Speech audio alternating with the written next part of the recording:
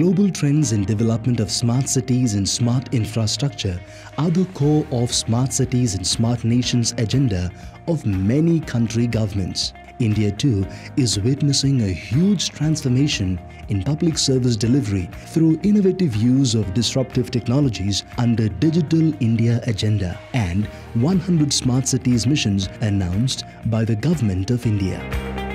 The World Bank is a committed partner on Smart Cities and Smart Villages mission. India ICT-enabled integration for Green Growth Project is one such initiative undertaken by the Digital Development Global Practice through Korean Green Growth Trust Fund. Under this project, the World Bank hosted a knowledge portal for smart cities which was launched through a national conference on 21st and 22nd of June 2017. The Digital Development India team at the World Bank has been able to bring many multilateral agencies, multiple countries and industries together on single knowledge management platform who were earlier working in isolation in their independent initiatives addressing the same problems, which in the long run would have resulted in wastage of investment and resources. You know, one of the challenges in terms of bringing people from different backgrounds is uh, that everyone looks at it from uh, their perspective uh, and uh,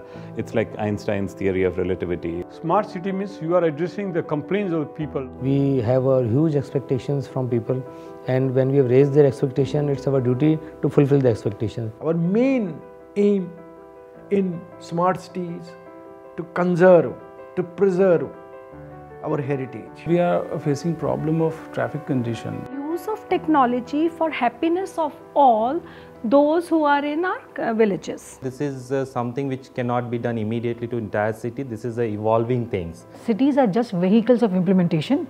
They do not have much authority in terms of what they can and cannot do. And so issues of you know, village, issues of a small town and issues of a city should be seen together. Smart cities itself is a big question which is to be answered Uh, by everybody of us.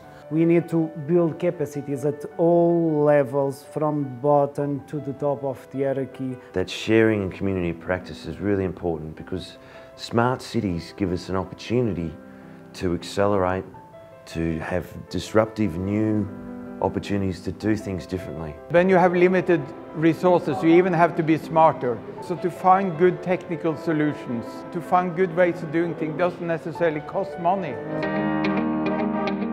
To further strengthen these collaborations, the World Bank organized Smart Republic 2018, an international conference for collaborative development of smart cities and smart villages on the 15th and 16th of February 2018, with the aim to strengthen collaboration among all stakeholder groups for development of sustainable smart cities and smart villages. I think what's uh, critical now and the reason for the conference now has been that another 39 smart cities announced recently. The demands on those cities and the commissioners and the staff there is to actually become a smart city quite quickly. The question is how. Funding has been made available. Uh, it's shared between the central and state government. Specially dedicated SPVs have been formed to help uh, these cities implement the project. When we were talking to them, they said, you know, we have received the funding from central government, we've received funding from state government, but our key challenges are being able to quickly deploy the projects. For doing that and monitoring how these are being done.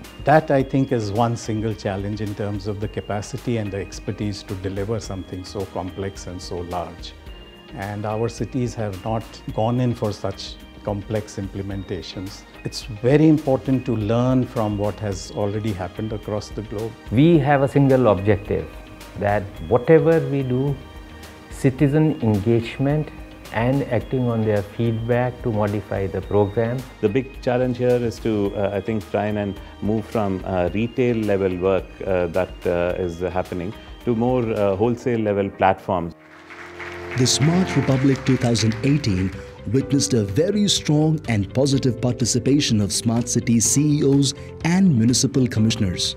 Senior government officers from central and state government agencies and departments, mission leaders and senior practitioners from multiple agencies from India and across the world. What we have been doing as a city of Panjim or as the capital city is to ensure that major flagship projects such as the Integrated Command and Control Center, 24 by 7 water supply using a performance-based contract. We have all the things uh, which a smart city should have starting from command control center which is already starting. We will have an ICT and ITMS structures.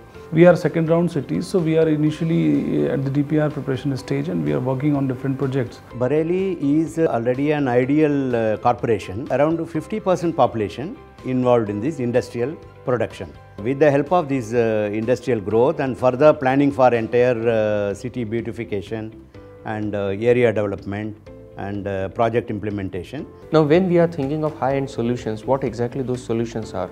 How we can uh, find implementers of those solutions? This is where we need lots of support from others. Guide us in uh, technology where we can get the technology help and innovative ideas how to manage our day-to-day problem. It will be very helpful to us. I was actually pleasantly surprised that uh, how much enthusiasm and uh, commitment is, exists in the uh, smart city teams, especially the CEOs and the commissioners of smart cities. I think all of them, without exception, have cited lack of expertise, lack of knowledge, and uh, the lack of experience as the biggest problem. These are courses that are run throughout India through the Institute and the UN University is also constructing a course targeting a lot of the city officials, the commissioners, decision makers, as well as particular technical experts. I think that everyone knows what they want, but uh, sometimes they, they are not able to put in the paper in the right way. So we have also a, course how to uh, create a strategy aligned with the Sustainable Development Goals, aligned with what is a smart city vision. We have developed almost seven smart cities programs under the smart city challenge phase and uh, we are also supporting the local government and the smart city project in terms of smart city training program as well. Also uh, sometimes needs work in the larger spatial context as well. Cities are or villages are, but uh, overall for the whole republic.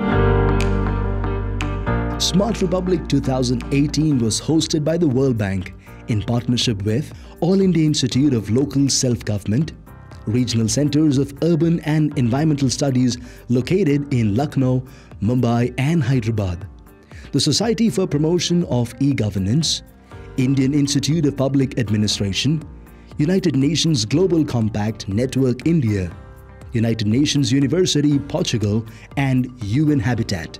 Norwegian Embassy joined as a strategy partner through its Innovation Norway initiative.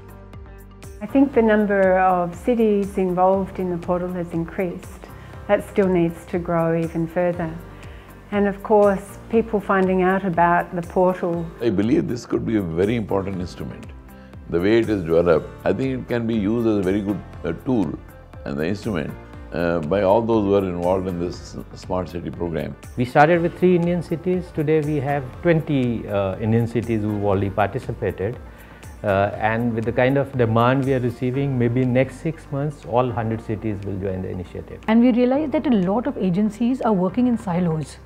That is the time when Global Compact Network and SIGET uh, connected with uh, the World Bank Group. The ICT portal has been a great resource. I think it's one of the best investments that the bank could have done uh, for the cities. This is the first time uh, World Bank India uh, mission had actually proliferated something like that. So we're very glad to be associated with World Bank on this particular mission. We were uh, really impressed to see how uh, these agencies, both from the private sector, from UN uh, agencies, uh, from academic and research organizations, how much knowledge they have and how much willingness they have to support and work together. A couple of uh, big areas where uh, if we can see if the World Bank can uh, support. One is in the better use of uh, information uh, technology and tools such as uh, looking at options for being able to access data on cities on your phone.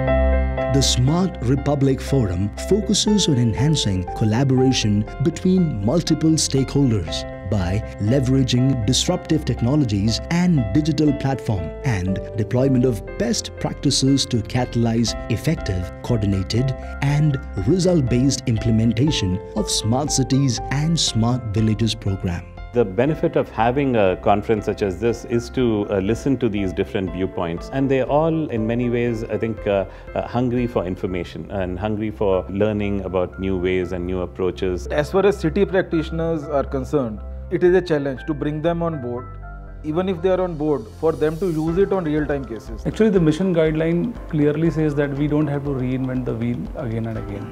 So we have to replicate the best practices, and I think this is the best forum from where uh, we have taken away all the best practices. By going and making use of this portal, we can come across in nutshell what are the activities going on across and how we can be benefited.